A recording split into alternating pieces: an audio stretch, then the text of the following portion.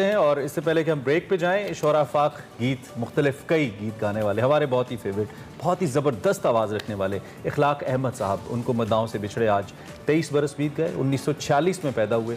इखलाक अहमद साहब ने 70 और 80 की दिहाई में पाकिस्तानी फ़िल्मों में अपनी शानदार आवाज़ का जादू जगाया। सावन आए, सावन जाए जैसे बेहतरीन गीत गाए।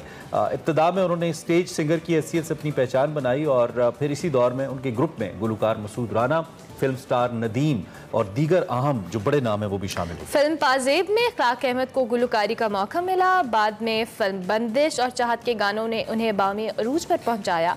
जिन दिनों वो फिल्मी सनत में अपनी पहचान बना रहे थे। इस दौर में गुलकार अहमद रुश्ती के हवाले से बहुत उनका चर्चा था। ताहम अपनी मुनफरद गायकी की बिना पर इखलाक अहमद फिल्मी गीतों की ज़रूरत बन गए और उसके बाद जो उनके बेशतर गीत हैं उनके दोस्त फ़िल्म स्टार नदीम पर फिल्माए गए। हम्म। और ज़िंदगी गीत है गीत है ज़िंदगी जैसे बेशुमार ऐसे गाने हैं जो जो उनकी पहचान बने।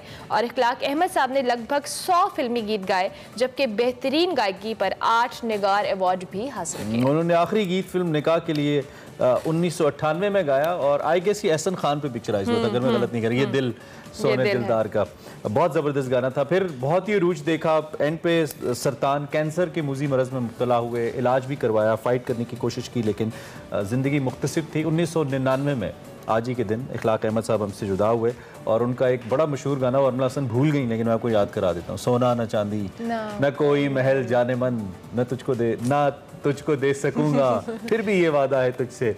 It was a brilliant song और उस वक्त शबनम और नदीम साहब की जोड़ी भी बड़ी हिट थी। हम्म। और फिर इखलाक अहमद साहब की आवाज़ नदीम साहब पे ऐसी लगती थी कि नदीम साहब खुद गा रहे हैं। और लोग बड़ा रिलेट करते थे इसको। और बहुत ऐसे सिंगर्स होते हैं जिनकी आवाज़ हीरो पे बिल्कुल एग्जैक्ट बैठ जाए हाँ। जैसे किशोर कुमार की आवाज़ राजेश खन्ना भी बहुत अच्छी लगती थी बॉलीवुड फिल्म्स के अंदर। तो ऐसे ही था।